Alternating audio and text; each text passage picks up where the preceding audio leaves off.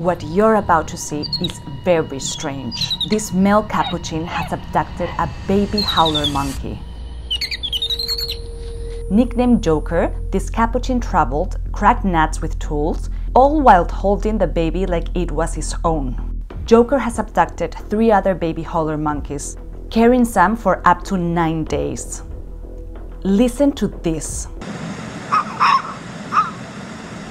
Some of the baby howlers cried out, lost and distressed. And since howler infants need their mother's milk to survive, it's likely none of them made it. At first, researchers thought that it was just an odd one-time case.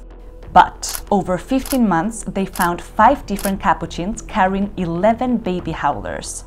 It wasn't aggression or adoption. Researchers suggest the capuchins were just bored leading to a cultural behavior, which is a social trend with no clear benefit to the species, that spread through imitation.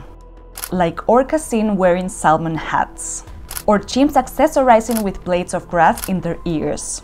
But here the trend is equally parts fascinating and deeply disturbing.